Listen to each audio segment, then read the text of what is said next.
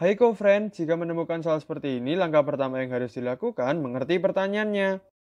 Adalah faktor prima di sini yang kita mau cari. Begitu ya, kita harus tahu dulu definisi dari faktor prima. Nanti kakak akan bahas cara mendapatkan nilainya. Tapi kita harus tahu dulu ya, faktor prima itu apa? Faktor prima di sini itu adalah begitu ya, kakak mau tuliskan faktor prima adalah di sini bilangan prima, begitu ya. Ini kakak mau tuliskan adalah bilangan prima. Yang apa kok friends di sini yang terdapat pada faktor bilangan gitu ya. Bilangan prima yang di sini terdapat begitu ya. Ini kakak mau tuliskan ya yang terdapat pada di sini apa kok friends kakak mau tuliskan ya terdapat pada faktor bilangan. Kira-kira demikian ya. Ini adalah untuk bisa mendapatkan jawabannya nanti. Lalu sekarang metode pengerjaannya itu bagaimana? Kakak akan gunakan metode adalah pohon faktor, di mana dia itu dibagikan dengan bilangan prima terkecil, begitu ya.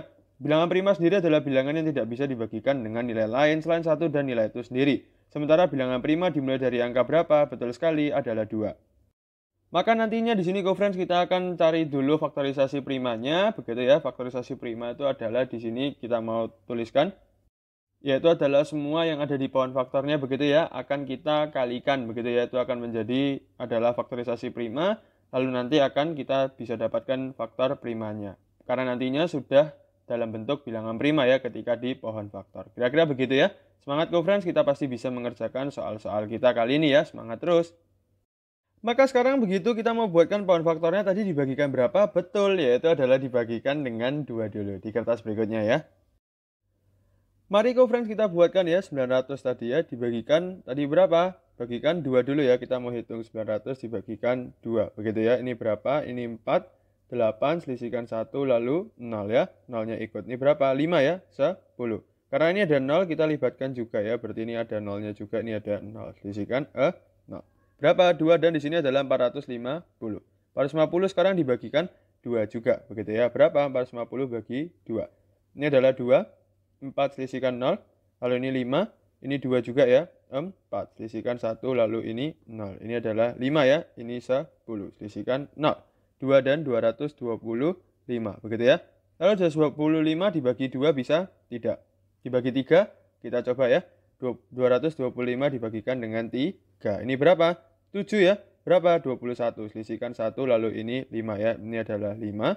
Berapa? Di sini 15. Selisihkan 0. Di sini adalah 3 dan 75 ya. 75 dibagi 2 bisa? Tidak. Dibagi 3. Berapa? 75 dibagikan dengan 3. Begitu ya. Ini berapa? 2 ya. 6 selisihkan 1 lalu 5. Ini adalah 5. 15 selisihkan e 0. Jadi langsung dituliskan 3 dan 25. 25 dibagi 2 bisa? Tidak. Dibagi 3 tidak bisa juga. Dibagi 5 adalah 5. Maka sekarang kita mau tuliskan faktorisasi primanya. Seperti ini. Mari kita tuliskan ya. Ini adalah apa? Faktorisasi primanya dulu dari berapa? Tadi conference di sini faktorisasi prima dari di sini adalah 900 begitu ya. Ini akan jadi berapa? 900 berarti itu dari mana conference Dari 2 kali 2 kalikan 3 begitu kalikan 3 kalikan 5 kalikan 5 begitu ya di sini. Sekarang kita mau tuliskan 900 ini akan jadi berapa? Kakak akan lakukan sesuatu seperti ini. Misal kita punya set, set itu adalah bilangan, begitu ya. Di sini, di mana ketika kita punya set itu bilangan, set kali set, begitu ya. Ini akan jadi adalah set kuadrat. Maksudnya apa? Set kali set, setnya ini ada dua kali ya, jadi set kuadrat, begitu ya. Sama ya, ini dua kali dua, dua kuadrat kalikan tiga kali tiga ya, berarti tiga kuadrat. Ini kalikan berapa? Lima kuadrat. Kira-kira demikian ya. Ini faktorisasi primanya. Karena ini juga bukan pertanyaannya ya, tapi pertanyaannya itu faktor prima. Faktor prima ini apa? Ya langsung tuliskan saja ya. Faktor dari faktorisasi prima itu angkanya itu tadi ada angka, angka apa saja. Berarti ada 2, ada 3, ada 5. Gitu ya, 2, 3, dan 5. Kita simpulkan jawabannya adalah 2, 3, 5. Jawabannya ada yang ini ya, yang di sini. Ini adalah jawaban kita. Sampai jumpa di soal berikutnya, pengerjaannya selesai. Semangat terus!